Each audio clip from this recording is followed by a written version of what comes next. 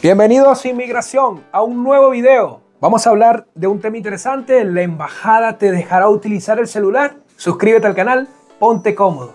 Mi nombre es Will Rodríguez, como tú lo sabes, experto en inmigración consular de Estados Unidos y mi único sueño es hacer realidad los tuyos, de que puedas viajar y conocer los Estados Unidos.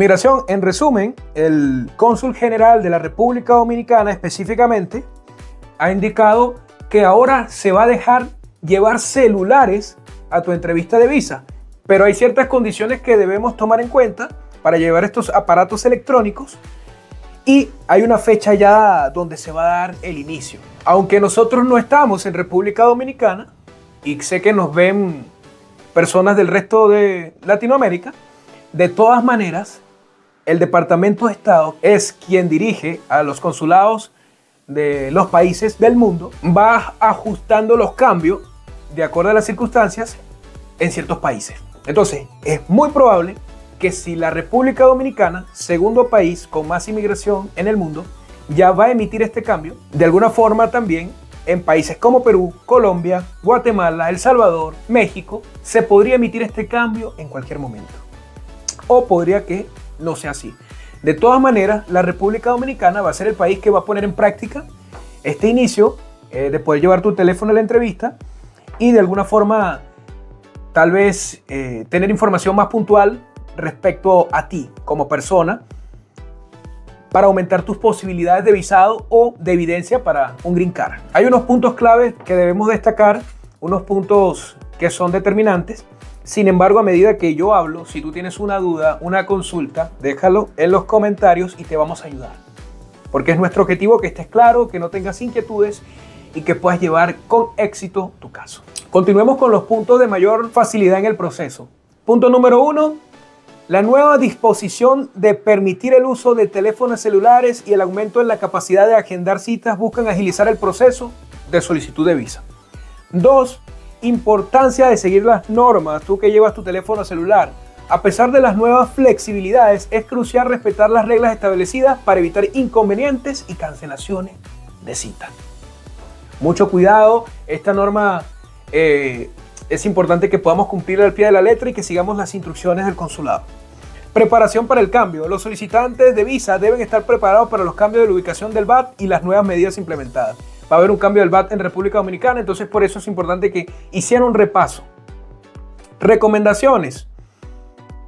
Estar atento a las actualizaciones. Se recomienda estar al tanto de los anuncios oficiales de la embajada para mantenerse informado sobre cualquier cambio adicional. Obviamente, el consulado en su web oficial va a tener cambios en los próximos días. Estamos en finalización del año fiscal, como lo he hablado muchas veces, el año fiscal empieza en octubre y finaliza en septiembre.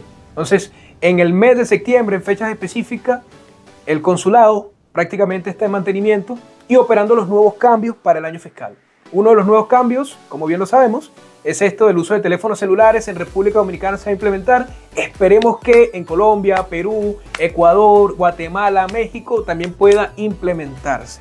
Periodo de transición. Entre el 13 y 23 de septiembre habrá un periodo de transición en el que, en el que no se podrán agendar citas ni realizar pagos en línea. Sin embargo, se habilitará un sistema de emergencia para solicitudes urgentes. Es decir, a pesar de que está en mantenimiento, va a haber solicitudes urgentes eh, que van a requerir tener una entrevista. Por ejemplo, ya hablamos de las situaciones de emergencia. Busca en nuestro video situaciones de emergencia que aplican y podría ser tu condición, por lo cual tú necesites tener una entrevista. Nueva disposición para el uso de teléfonos celulares. A partir del 23 de septiembre del 2024 se permitirá el uso de celulares dentro de las instalaciones de la embajada y el BAC, Centro de Atención al Visado. Sin embargo, queda estrictamente prohibido realizar llamadas, grabar o transmitir en vivo.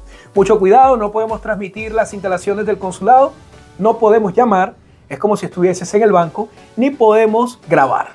Para mí son buenas noticias porque de verdad a veces en tu teléfono tienes información importante que puedes dar de primera mano al oficial o mostrar más transparencia respecto a tu caso, sea un caso para visado o sea un caso para una residencia. Es cierto, señores, que esta norma se va a implementar en la República Dominicana, pero así como se va a implementar en la República Dominicana y que lo hemos visto en muchos países, tal vez algún cambio específico, también podemos ver el cambio en el resto de los países de Latinoamérica. En mi opinión personal, te ayudará a ti y a tu familia a explicar un poco mejor sobre tu caso, te ayudará a ti y a tu familia, tal vez si hay inquietudes por fraude, inquietudes por inelegibilidad, inquietudes por presunción de intención de inmigrantes, poder aclararlas. Sin más nada que, que, agregar, suscríbete al canal, dale me gusta, comparte este video con tus familiares y siempre deseándote en tu vida que tengas grandeza, esperanza, lo estás esperando. Y bendiciones. Nos vemos.